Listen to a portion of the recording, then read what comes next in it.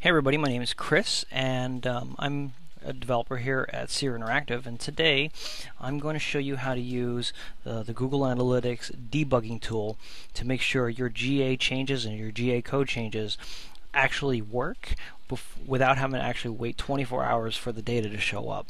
Um, we're going to do that uh, using the Google Analytics debugging tool and uh, so don't we just get started.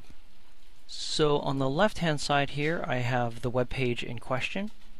Um, on the right hand side at the top I have um, the HTML that goes with the page and at the bottom I have the Apache log so that when I actually go to the page and we refresh it you'll see some stuff happening. So we'll see the HTML runs, uh, grabs the picture, and then it tries to grab the favorite icon, uh, but we don't have one, so it's not there. No big deal. Let's take a quick look at the HTML first. Down here, somewhere on line 121, okay, this is our Google Analytics code. This is the first top half of it. This sets off the account and starts to track our page views. The second half is actually at the bottom. You're allowed to split it, and that's okay. Alright, so this is our it's a form and somebody fills in the form, hits the submit button, and it sends them off to a PDF uh, file. What we want to do is we want to be able to track when somebody hits that submit button and gets our PDF. That's what we want to track. So um, to do that, you're going to need to get the Google Analytics debugging tool. To get that, just type in Google Analytics debugger Chrome into Google, and I think it's the first link. Yep, there it is go ahead and install that plugin and what you need to do is have it turned on. So you just kind of right click on it and turn it on. My plugin's already turned on so I'm ready to go. Now that we're ready to go I'm just going to hit refresh one more time. Alright great. And I'm going to right click on any part of the page and go to inspect element. Now the first thing it's going to do is going to send me to the elements page. We want to click over to the console uh, page. Like this and you can see that this console page actually shows us everything that's happening in Google Analytics. Let me move this over. So here's our tracking code, and there it is. There's our tracking code uh, as reported by Google Analytics. It tracks the page view, and there it is again. It's tracking our page view. The rest of the stuff is mostly the information kind of parsed out from this giant URL. Um, the hit ID, referring URL, page, the time, the session time, local time, uh, what my browser is, you know, things like that sort.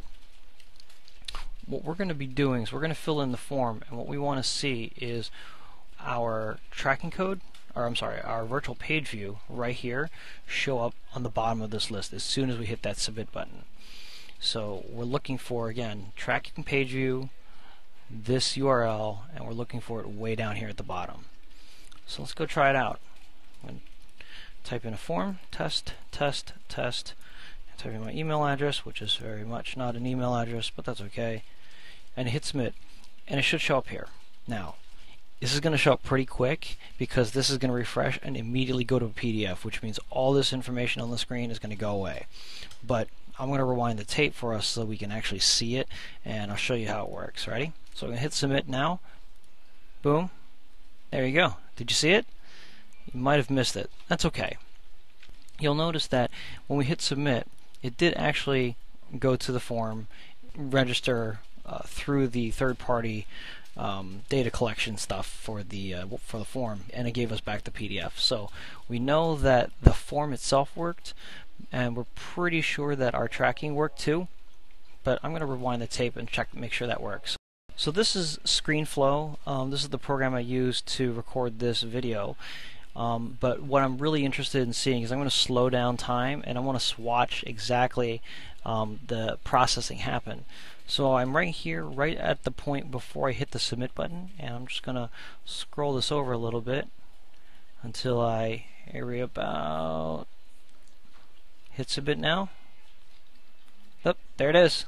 I hit submit, and you can see our track page view and our URL is registered with Google and it actually sent the tracking beacon. You'll notice it hasn't refreshed the page just yet. I'm going to scroll a little bit further.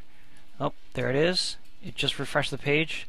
It grabbed the PDF all of our information is gone and you'll see the browser just about here, there it goes, renders the PDF.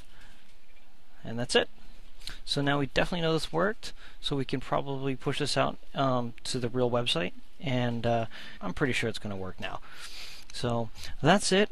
Um, hopefully it'll help you guys out and have a, having to wait 24 hours. I'll talk to you guys later.